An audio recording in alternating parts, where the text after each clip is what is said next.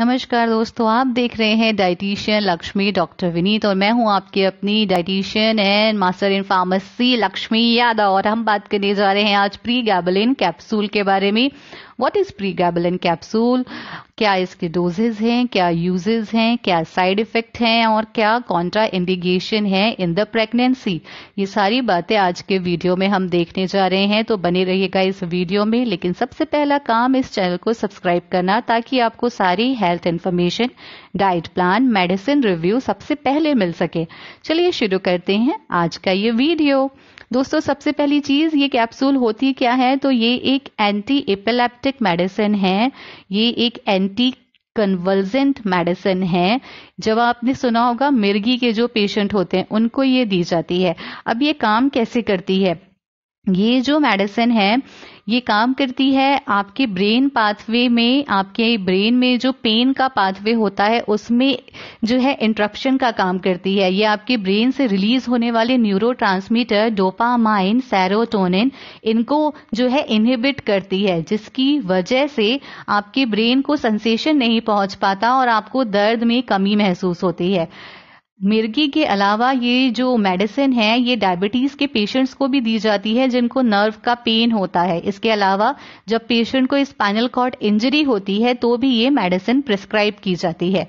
आपका डॉक्टर ये तय करेगा कि आपको कितने डोज में और कौन सी बीमारी में कौन सी स्टेज पे ये मेडिसिन प्रिस्क्राइब की जानी है। दोस्तों, चलिए, अब हम शुरू करते हैं देखते हैं कि इसके डोजेस क्या है। मार्केट में ये बहुत सारे फॉर्म में अवेलेबल है। 25 five M G fifty M G seventy five M G hundred M G hundred and fifty M G two hundred M G two hundred and fifty M G three hundred M G three hundred and thirty M G जैसा कि आप देख रहे हैं, इतने सारे various doses form में strength में ये मार्केट में अवेलेबल है। अब आपका डॉक्टर ये डिसाइड करेगा कि आपको ये मेडिसिन कौन से स्ट्रेंथ की प्रिस्क्राइब करनी है और कैसे लेनी है। इसका जो यूजुअल मैक्सिमम डोज होता है, वो भी मैं आप लोगों को बता देती हूँ। वो होता है 300 हंड्रेड पर डे कोई भी पेशेंट 300 हंड्रेड पर डे इसका मैक्सिमम डोज है, इसके ऊपर ये मेडिसिन नहीं दी जाती।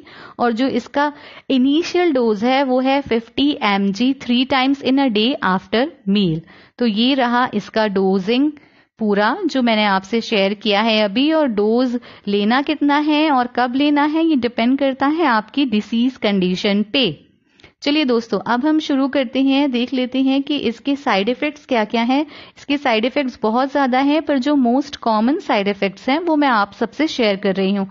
सबसे पहला है इन्फेक्शन होने के चांसेस पेशेंट को होते हैं। अगर आप ये मेडिसिन ले रहे हैं तो विजन में प्रॉब्लम होती है, आपको धुंधला दिखने लगता है कॉन्स्टिपेशन होता है, चक्कर आने लगता है हेडक होता है, सिर भारी लगता है। आप इस मेडिसिन को लेने के बाद कार ड्राइव नहीं कर सकते हैं। एबनॉर्मल गट हो जाता है स्वेलिंग आ सकती है कंफ्यूजन हो जाता है वर्टिको हो जाता है वेट गेन भी होता है पेशेंट्स को, क्योंकि इस मेडिसिन को लेने के बाद भूख बहुत ज़्यादा बढ़ती है। तो जैसा कि आप देख रहे हैं, इतने सारे साइड इफेक्ट्स हैं तो हमेशा ये मेडिसिन आपकी डॉक्टर की सलाह से ही लें।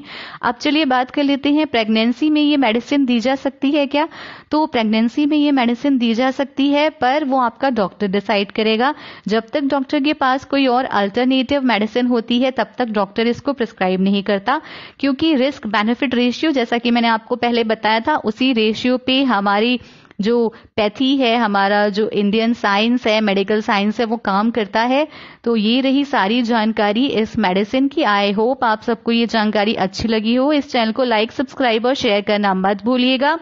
अपना ध्यान रखिएगा। बाय बाय बोलने से पहले मैं आपको एक चीज़ बताना चाहूँगी कि ये सारी जानकारी एजुकेशन पर्पस के लिए है। Please consult with your doctor before taking this medicine इस दवा को लेने से पहले आपके डॉक्टर से ज़रूर कंसल्ट कीजिएगा।